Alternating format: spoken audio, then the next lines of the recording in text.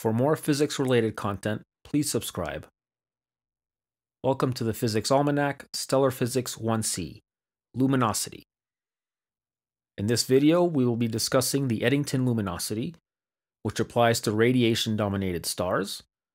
We will look at the luminosity for gas-dominated stars, and then we will discuss stellar luminosity in general. The physics level in this video is intermediate. So, the Eddington luminosity. Stars in general are supported by a combination of radiation pressure and gas pressure. As a general rule, the more massive a star is, the more it's dominated by radiation pressure as opposed to gas pressure. Most stars, however, are predominantly supported by gas pressure. The Sun, for example, is about 99.9% gas pressure. The Eddington luminosity is defined as the luminosity that a star would have if it were entirely supported by radiation pressure. Going back to our cartoon diagram of a star, gravity is trying to contract the star, and in this case, the pressure that's counteracting gravity would just be basically photons pushing outwards. Looking at this in closer detail, in the star we have an electron and a proton. And if a photon comes along, it will scatter off the electron, imparting some momentum onto it, that electron will then drag the proton along with it via the electric force between the two. Recall that the electron is negatively charged and the proton is positively charged, so they attract one another. You may be wondering, why doesn't the photon just scatter off the proton and impart its momentum onto it directly? Now, in principle, yes, this can happen. However, the scattering cross section for this interaction is proportional to 1 over the mass squared and an electron is about a thousand times lighter than a proton, and so that would mean that the scattering cross section for the electron is about a million times greater than for the proton. So for each photon that scatters off a proton, about a million will scatter off an electron.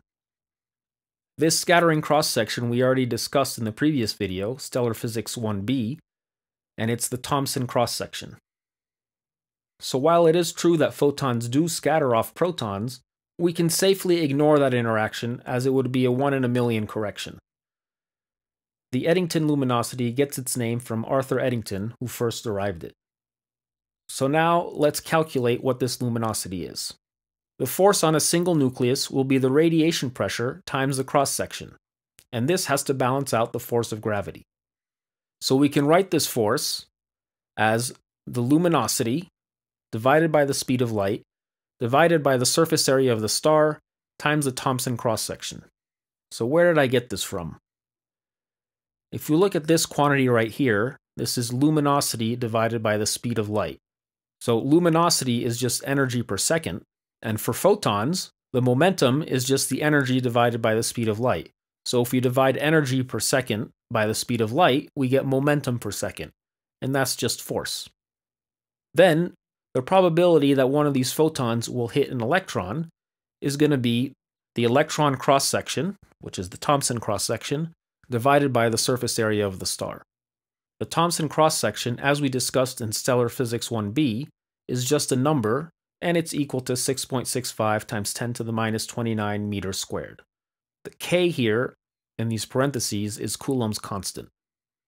Now we equate this to the gravitational force on a nucleus with atomic number A and charge Z. This may be a little confusing here because the photons are scattering off electrons, but we're equating it to the gravitational force on a nucleus. This is because all of the mass of the star is contained in the nuclei, as one proton is a thousand times heavier than an electron. So the electrons don't really contribute much to the mass of the star.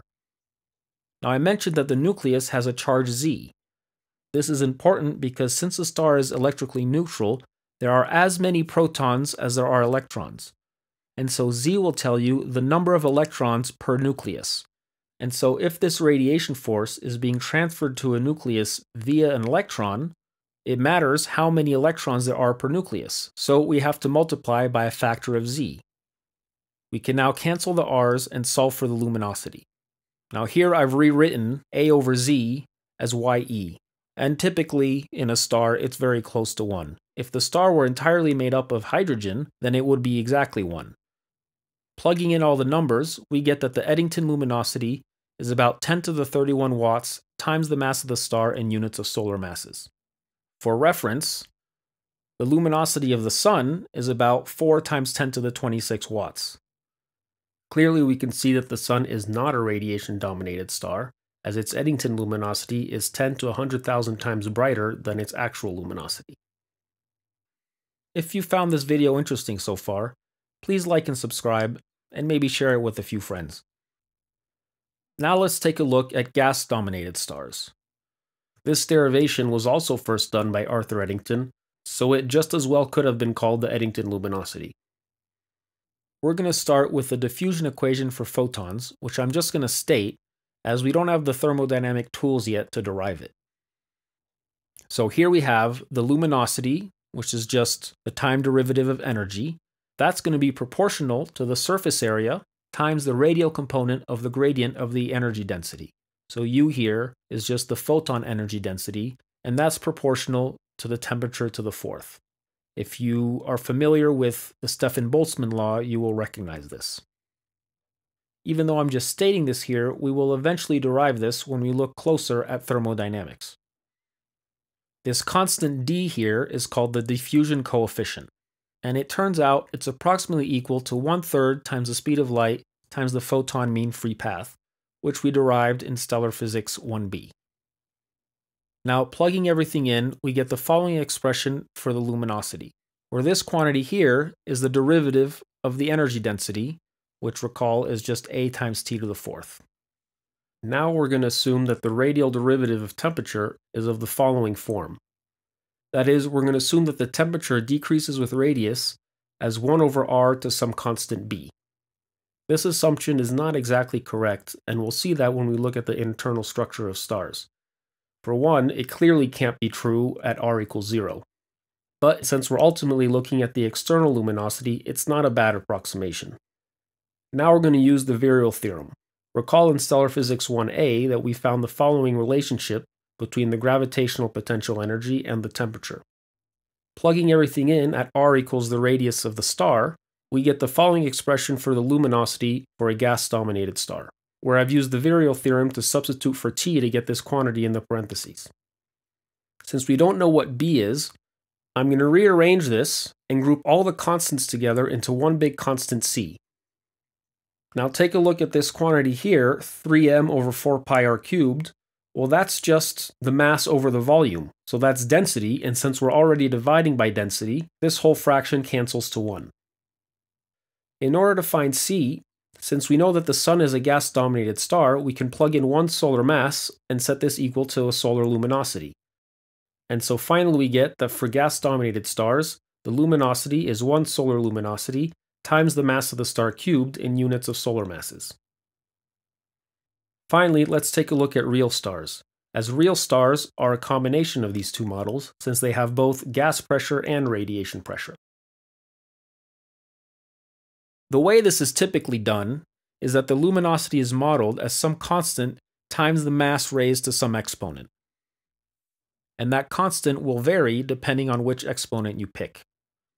And then what is done is that this model is fit with empirical evidence for various mass ranges. The most commonly used model is that L equals about 1.4 solar luminosities times the mass in units of solar masses raised to the 3.5.